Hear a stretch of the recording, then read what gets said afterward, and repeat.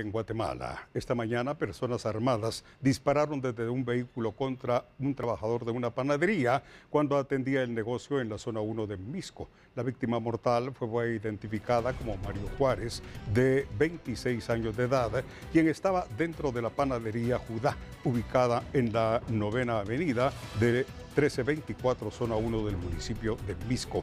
Ante la presencia de peatones y otros trabajadores del comercio, la emergencia fue atendida por bomberos voluntarios, quienes nada pudieron hacer, ya que la víctima había fallecido por los cuatro impactos de bala.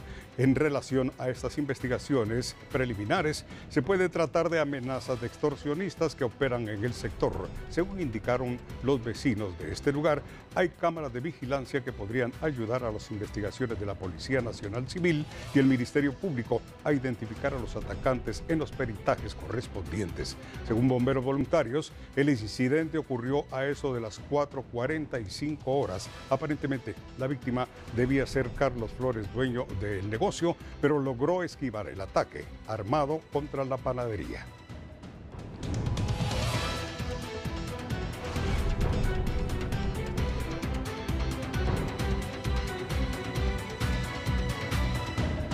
Y tras este ataque armado en la zona 1 de Misco, que dejó como resultado, ya dijimos, una persona fallecida, bomberos voluntarios brindaron detalles al respecto.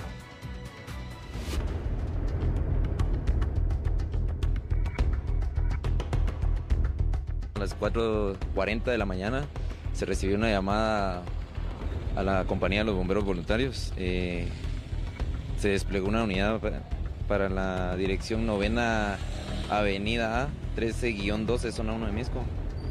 Llegando al lugar se constató que se encontraba el señor Mario Roberto Flores, de 26 años de edad, el cual yacía sin vida por varios impactos de proyectil de arma de fuego en diferentes partes del cuerpo. ¿Se pudieron contabilizar los impactos del arma de fuego? Más o menos cuántos presentaba él en su cuerpo.